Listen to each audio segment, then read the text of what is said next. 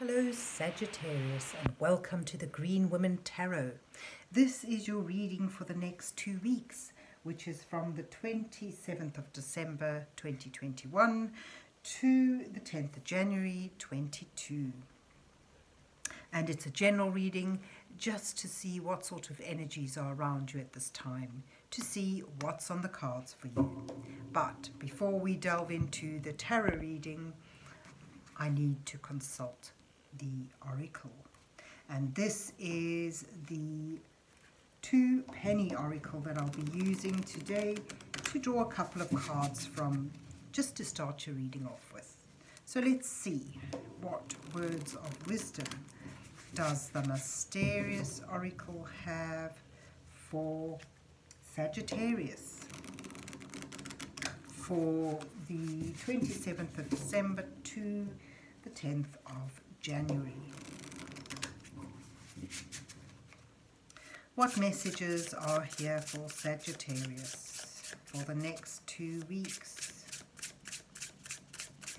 What does Sagittarius need to know at this time?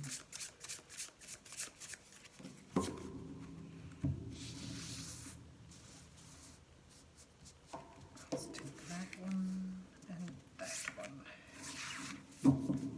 And let's see what you get. Acquisitiveness. Uh, acquisitiveness. Sorry, acquisitiveness. It's not being it's not being quizzy, but it's it's uh, you know gaining things, owning things, acquiring things. And, and here it's depicted in nice shiny things. And then you've got destructiveness. Oh dear. Okay, so yeah, so maybe it's, you may need to tear something down um, in order to rebuild, to um, to regain. So you've got acquisition and destruction. So um, if we look at the little animals here, you've got you know the squirrel and the um, crow. It's you know those or magpie. This is a crow, but it's you know maybe it sort of does sort of indicate. Um, the, the acquisition of, of little trinkets, of little things that um,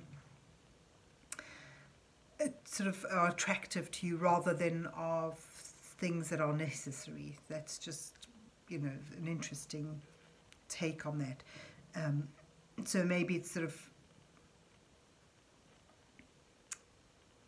it may be sort of in sort of talking about or speaking to too much acquisition. And um, then you've got destructiveness. So as i say you may need to actively break something down in order to rebuild. But it may simply be a warning that you know you need to look at whether your your words or your actions are dis- destructive in any way or sort of um, unproductive or you know harmful rather than um, um, constructive. You know, you get constructive criticism and then you just get um, nastiness. So, you know, sort of two questions here. Um, what you're gaining, what you're looking to acquire, is it something you need or is it something you want or is it something you want to need?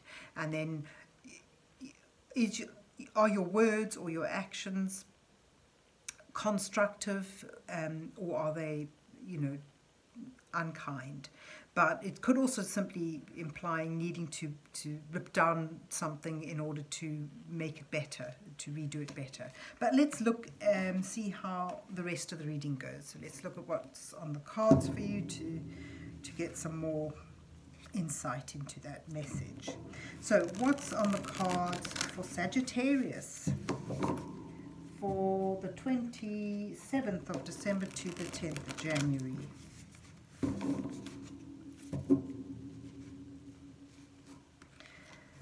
What messages are here for Sagittarius for the next two weeks?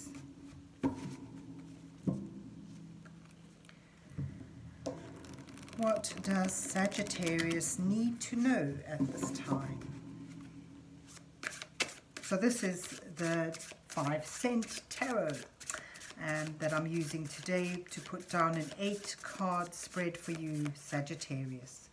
With the first, oh gosh, let's not throw the cards around. With the first two cards depicting you in your current situation, the second two cards highlighting the challenges you may face at this time. Following two cards offering you some guidance from divine energies as you move towards the final two cards, which may reveal your potential outcome to this situation. It certainly shows the energies you'll be moving towards. So let's see what you get. King of Buttons, nice and stable there. That's all about um, acquisition. And then Death, transition. And then you get the Two of Cups and the Eight of Buttons as your challenge. So actually your challenge is quite positive really. And then you've got the page of matches and the world as your guidance. And you move towards the five of needles and the three of buttons. This is certainly about building something up actually. Oh, and you've got the nine of cups at the bottom of the deck. Underlining everything is this um, acquired contentment and joy. And this is sort of, this is a wish fulfilled, a wish come true, um, gaining, you know, it's having more than enough and being appreciative of that. And this is, this um, contentment is due to your own efforts, something you've built up yourself. It's actually very positive. Let's put him there and let's move let's just move these there for now so they're out the way so you start here um, well the king of pent buttons uh, this is someone with good business acumen who's sort of built up and like a bit of an empire for himself but it's very on very much on a material level. So it's about having acquired the, everything you need to bring you comfort and um, a sense of stability and value to your life, security, and being in a position to um, generously um, support those in, in your caress. But it's sort of linked here, you know, you're at a time of change and you've got two cards that sort of denote that. The death card's not about endings alone. It's also about the change that those endings bring. So perhaps you've reached a, a, a point and now it's time to um, begin a new journey. So that um, that acquisition sort of throws you onto a new path, as it were. So it's being able to, you sort of like at a point where you need to accept something has run its course and it's time to come to an end. And that in itself is quite a challenging card. That's about sort of being able to accept the endings, the, the, the, the you know, the, the finishing of something and being willing to embrace the change that that brings. Um, your actual challenges here is, is sort of about I get a sense of like with the Two of Cups, it's often about partnerships, two you the union of two opposing or two different energies or people. So it often depicts um, you know two people coming together. But as a challenge and looking at all the rest of the cards, I think it's almost about um, your challenge is to incorporate what you've attained um, with what you need to begin. So it's sort of like accepting, it's sort of like infusing or, or bringing together your accomplishments and this new beginning. So it's stepping out of a role of authority and um, accomplishment to being the, new, the beginner again, the, the little um, student again. And once again, having to master new skills. Eight of Buttons is about mastering new skills. It's the apprentice card. So it's almost like if you're here, the king of buttons, having accomplished and manifested a situation or position for yourself that is now coming to an end, you need to incorporate all that you've learned and become into a new learning phase and become the apprentice, the student once more. And that's the challenge. And your guidance even says accept this challenge as in a sense with a sense of adventure and um, know that this is something, this ending, the beginning it brings is something that is exciting and um, should be, you know, may um, tap into your creativity, sort of reignite that sense of passion for the world and exploration and that sense of adventure.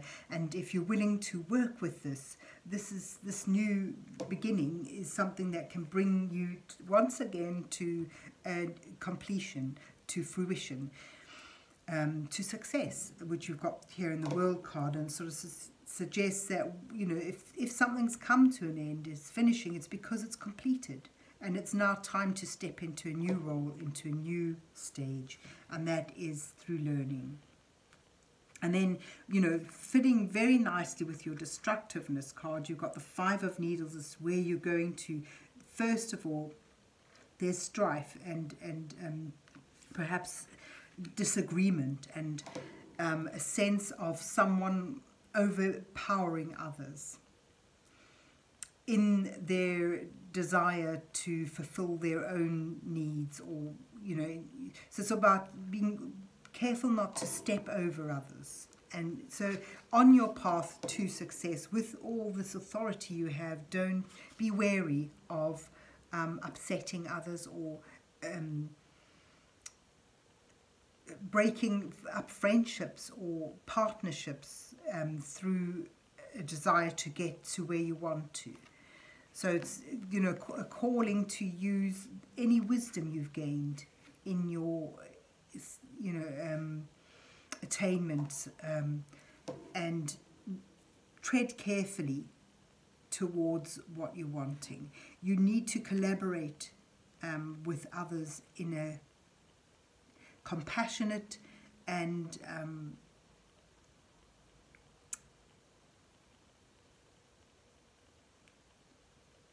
you know, thoughtful way. Because you do move towards mastering this new skill. So, um, and then you, you know, you get the Nine of Cups, which is that, that sense of attainment. But there's almost like a warning here in, you know, acquiring, don't rush um, to acquire, to recapture that completion, that sense of um, attainment. You need to perhaps um, let go of that mastery that because you're needing to learn again. Uh, and um, the, the new role is a learning one definitely but it does lead to mastery. But through good communication and a willingness to to collaborate on equal levels with others rather than dominating them. That's the word I was looking for you know so you, you need to be aware of being overly dominant. Because if you are, then you sort of what happens is you you you alienate people who could be um, you know close and harmoniously connected to you. Yeah. So in a nutshell, there you sort of from a position of authority and um, acquisition, something that sort of ends now, and, and you're embracing or you're being called to embrace a new role of learning a different skill, stepping into a new role. Um, you know, this at the same time of being appreciative and um, happy about the success and, and the completion of something, it's time to step into a new role, and that's stepping down a little bit and not being overly dominant, but being able to collaborate with others in order to re find uh, a new sense of accomplishment and attainment and happiness again. So it's, it's very it's a very positive reading, just simply with the warning of being destructive in your progress. So there you have it, Sagittarius. I hope you enjoyed your reading and that it resonated with you. And if so, please remember to hit the like, share, and subscribe buttons. And then have a good two weeks, and God bless you till we meet again.